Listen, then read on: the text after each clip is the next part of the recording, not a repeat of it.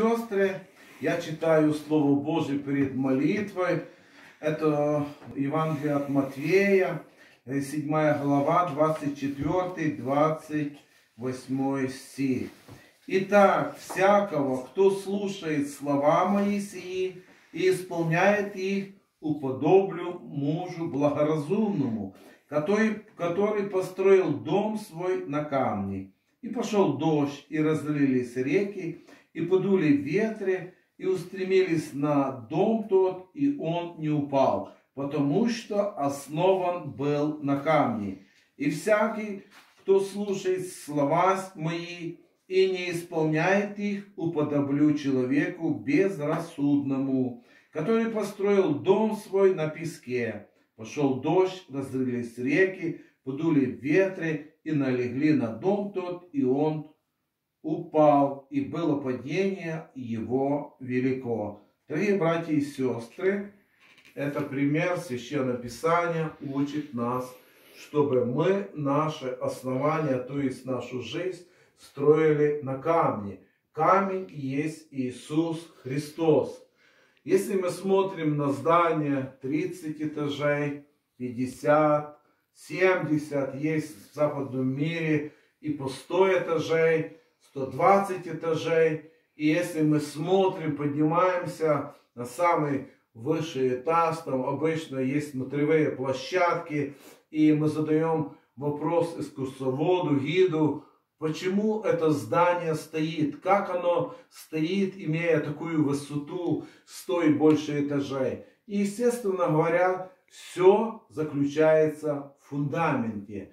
И мы из этого притчи, из этого рассказа видим, что и человек, который слушает Слово Божие, исполняет его, это человек благоразумный, который построил дом свой на камне, то есть на Иисусе Христе. Люди, которые слушают Слово Божие, не исполняют его, это люди не умные, не мудрые, они называются неблагоразумные, когда приходит испытания, ветры, воды, и этот дом падает, разрушается, и падение случается очень-очень великое, большое, и мы можем прочитать Слово Божие, которое записано в послание Коринфянам.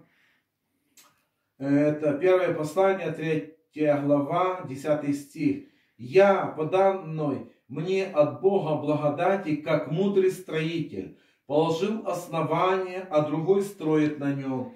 Но каждый смотри, как строит. Ибо никто не может положить другого основания, кроме положенного, которое есть Иисус Христос. Строит ли кто на этом основании из золота, серебра, драгоценных камней, дерева, сена, солома? Каждого дела обнаружится, ибо день покажет, потому что в огне откроется и огонь испытывает дело каждого, какого оно есть. У кого дело, которое он строил, устоит, тот получит награду, а у кого дело сгорит, тот потерпит урон. Впрочем, сам спасется, но так как бы из огня. Разве не знаете, что вы храм Божий, и Дух Божий живет в вас?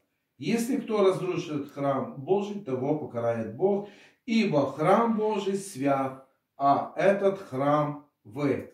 Мы строители нашего храма, и Слово Божие говорит, чтобы мы были мудрые строители. Если мы будем слушать Слово Божие и исполнять, Слово Божие говорит, чтобы мы, что мы называемся благоразумными строителями. Когда приходят испытания, наши строение устоит. Почему? Потому что мы ставим свое основание, фундамент на Иисусе Христе. Если мы слушаем Слово Божие, не исполняем, мы оказываемся неразумные э, строители, которые построили свое строение на песке. Прошли испытания, пошел дождь, подул ветер, и наше основание рухнуло. То есть оно было основано не на Слове Божьем, не на Иисусе Христе. Пусть Бог благословит, чтобы мы были мудрыми строителями, строили из золота, серебра из драгоценных камней. Аминь.